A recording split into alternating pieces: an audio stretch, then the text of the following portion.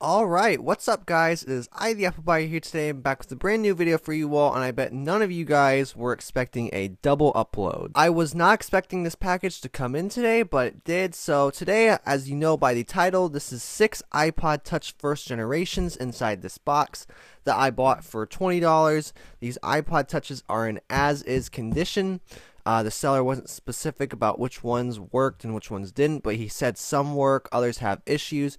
So we're going to open this up, see if it was worth getting $20 worth of iPod Touch first generations that may or may not work. Cutting this final piece of tape open right here. This most dangerous part right here, although I don't think we need that.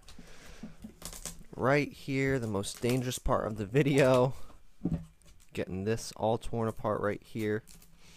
Oh, seller, what's up with your tape? Alright, so right here, the box is opened up and everything. Let's pull this out. Oh, he's just got them out in like a little sack here. So open it up. Got them in a little Ziploc bag here. That's pretty genius, honestly. And let's open them all up and pull them all out. So it actually looks like this guy put labels on all these, which is actually kind of cool. So um, I guess we can just have all these here. So um, let's see. Let us see. Put them all out like that. Let's see. Okay, so 8 gigabyte, first gen, home button broken, 8 gigabyte or 16 gigabyte, bad LCD, power bad power button, 8 gigabyte bad LCD, um, 8 gigabyte bad LCD, 8 gigabyte bad battery can't restore, and 8 gigabyte charging port dead. So I'm not exactly sure what he means by bad LCD, so let's just go ahead and try turning this one on first. If it does decide to boot up. No, it looks like the battery is dead on this. And it does look like this iPod here is cracked a little bit. So Let's just throw this on the charger. Alright, so from my testing, I have concluded that there are three categories for these iPods. Two of them are complete bricks.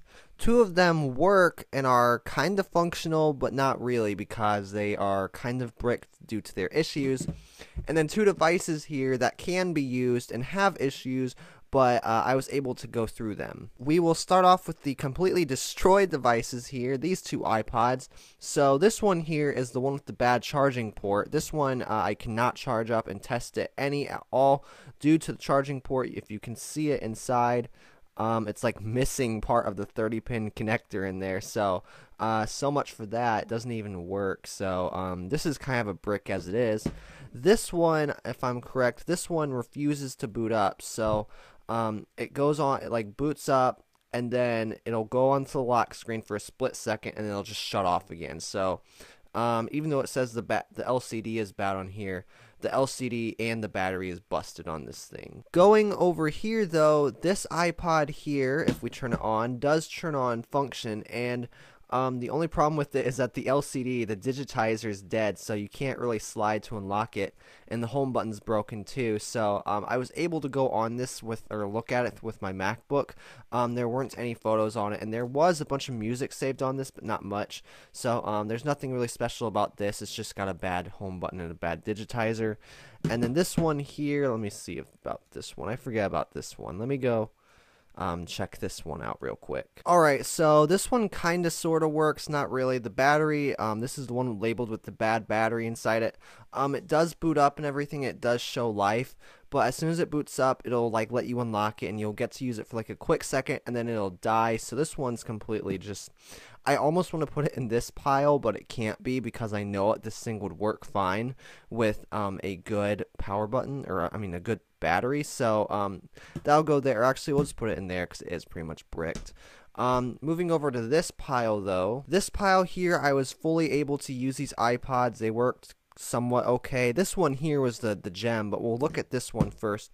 This one has a weird LCD and it's, it's extremely dark. You can't even see it um, you well actually you can barely see it there. It's just a really dim LCD um, the whole device here is restored and everything. It's completely blank. So um, this iPod here works fine overall. It's just you know the um the LCD is just completely dim. This iPod though I like this one. This was the gem that I was hoping I'd get. So um, bad LCD and bad power button according to them. Like obviously here it does not turn on, but when we turn it on, it, it holds a charge, it boots up, touchscreen works, and it's filled with apps from the previous user. Now there's a bunch of personal info on here, not not a ton like photos. If we go on photos, there's no photos on or anything, so we don't get them interesting photos unfortunately.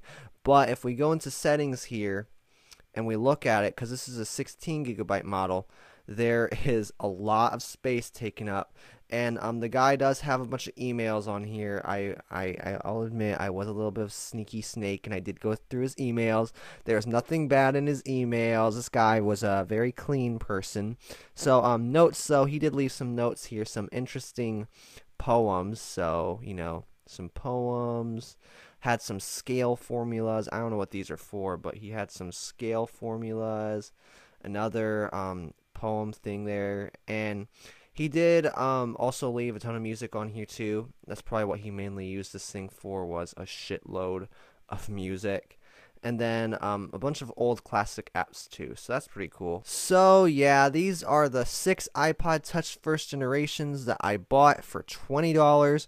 It was kind of just something that I wanted to see what would happen when I got these. These two iPods here are definitely worth keeping, and I definitely do probably want to fix these up.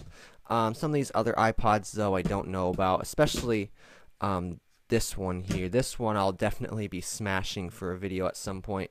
The rest of them, I'm not sure, though. Um, I guess we'll have to see how these things go. I'll probably just put them up somewhere and just let them sit for a while. So, thank you guys for watching. Hope you enjoyed and go ahead and watch. Er, what? What?